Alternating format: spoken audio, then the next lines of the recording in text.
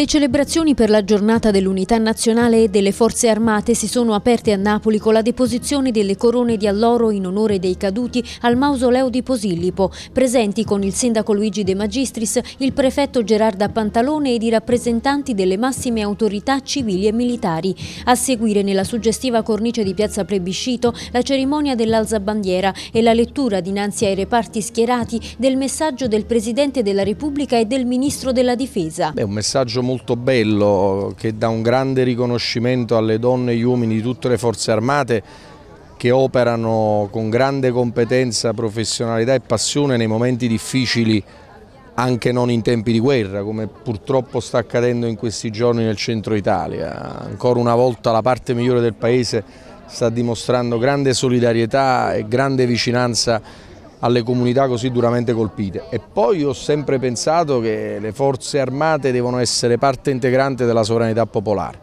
cioè, quindi non sono un corpo staccato dal popolo, c'è un giuramento appunto alla Costituzione, alle istituzioni repubblicane di cui le forze armate fanno parte e che spesso vengono chiamate a compiti molto molto difficili, quindi oggi è il giorno della gratitudine e del ricordo della Costituzione attraverso l'Italia una e indivisibile pur nella valorizzazione delle sue autonomie e delle sue differenze. Senza memoria non vi è storia, non vi è presente e non vi è futuro e quindi è molto importante. Tra l'altro oggi noi che cosa omaggiamo, che cosa ricordiamo?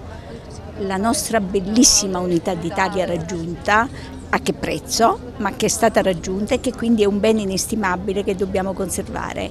E insieme, e questo è molto bello, rendiamo omaggio e onore alle forze armate. La mattinata si è conclusa con la consegna delle medaglie d'onore alla memoria ai familiari di quattro ex internati nei lager nazisti e di una bandiera tricolore ai ragazzi dell'Istituto Comprensivo Salvo d'Acquisto.